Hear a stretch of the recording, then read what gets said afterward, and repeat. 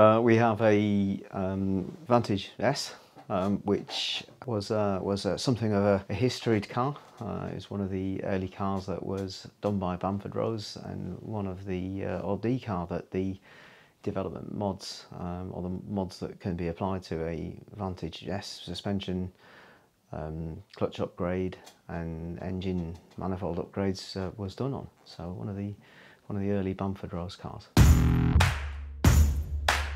So uh, yeah, the story of my car is quite interesting. Uh, I was looking for a Vantage some years ago and uh, stretched myself into an S when I found one that uh, was on VCAR as a Cat D. So I, uh, I, I, you know, being a mechanical engineer, I had the confidence to go and have a look around and satisfy myself that uh, it had been repaired reasonably well. Um, one or two, there were one or two minor issues, but I went ahead and purchased the car anyway. And um, when I uh, when I you know I started exploring a bit deeper, I found there was one or two issues that did remain from the accident repairs, and you know they needed to be to be resolved. So principally, that was uh, the suspension was uh, not quite right. Uh, it didn't handle quite as well as it should have done. It sat a little high. Um, it kind of looked as if it was up on stilts, and uh, obviously I've subsequently found that that's because uh, it had some version of a DB9 suspension fitted to it and uh, I was uh, I thought you know what I'll do is uh, I'll fix the suspension uprate it and put something decent on it. Yeah it was interesting really. So when I finally discovered Bamford Rose and came to see Mike and uh, you know I'd, I'd, had an idea that I wanted to upgrade the engine with the uh, stainless steel and read lots of good reports about how that would improve the engine my clutch was on its way out, it was starting to judder, so I figured I'd get the clutch done at the same time. Um, and then, you know, knowing that I'd had this long-standing issue with my suspension, I figured I may as well get that done. So I ended up uh, coming, bringing the car around to Bamford Rose to get the full works package done. And bear in mind, it, it is a, it is an S, so it already has the brakes and the seven-speed transmission and the carbon bits. So this was uh, you know a, a, project to finish the car off and uh, you know fixing the issues that the car um, had developed over my four years of ownership as well as upgrading it and turning it into what it should have always been um, from the factory. My path to the full Bamford Rose upgrades uh, wasn't an easy one. Um, I bought my car in 2016 it had issues with the suspension so I, uh, I went to what I thought was a, a, recognised specialist in upgrading Astons and sorting out suspension. I, uh, I bought some, I made a mistake of buying Nitron suspension directly from the manufacturers thinking that that would be a, worthwhile upgrade and then I took the car to David Appleby to fit the Nitron. Um, it did improve the car's handling uh, but introduced other issues. The NVH problem became quite unbearable for myself and knocks and clunks coming from the um, rose jointed racing suspension were not something that I could live with.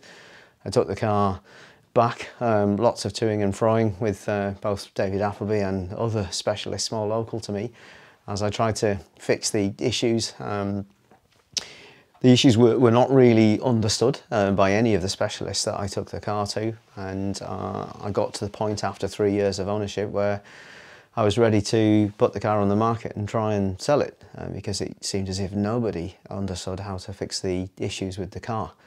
So uh, I was then lucky enough to, uh, to finally get through to Mike at Bamford Rose. Um, managed to book the car in, brought the car in and you know, within minutes Mike said, oh yes, you just need to change that suspension over for something that's designed for a road car. I wasn't sure I believed uh, that it would be that simple, um, but when the car came in, the job was done uh, in a few days and I got back a vehicle that was completely transformed. So uh, as I've, uh, you know, uh, I decided when I did bring the car to Bamford Rose, I'd have the suspension done, I'd have the engine done, the stainless steel manifolds, the remap and the twin plate clutch. And yeah, what uh, what I went home with was a, a, very different vehicle than what I arrived at Bamford Rose in. Um, you know, it really finally felt like the car that the the car should have been. It was the car that the car should have been from the factory. Um, utterly transformed. Um, you know, fast revving, free revving, superb handling, balanced. A decent set of um, Michelin tyres on.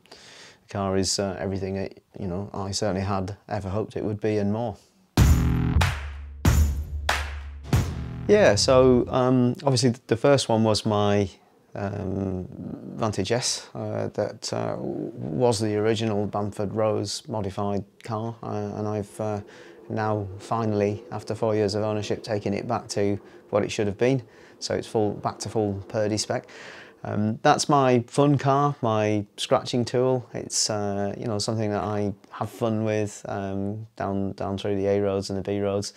I hope to do track days in it um, when I get the time and when work permits and uh, you know just have some fun and enjoy it. Uh, I also have a, a, DB11 which is um, it's the V12 uh, uh, flash to the AMR spec. So um, that's what I use for my summer daily commute.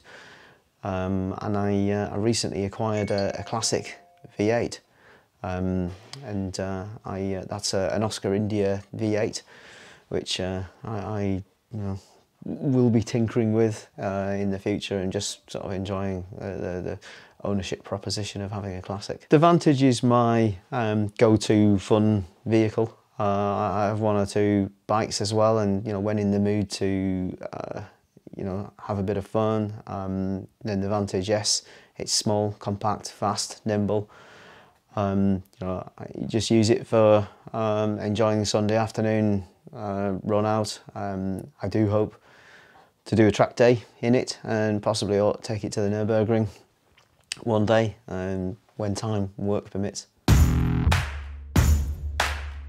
So, um, very typical first world problem. Uh, in my, my quest for the perfect V8 noise, um, I'm having my uh, rear silencer section replaced. So the car is a, Vantage S with a Vantage S silencer and when I had the um, stainless steel manifolds 200 cell motorsport cats um, fitted by Bamford Rose, uh, they, I got them to introduce the baffle immediately downstream of the 200 cell cats and that works well to attenuate the open pipe or noisy hooligan mode, uh, which creates a fantastic sound when the valves are open.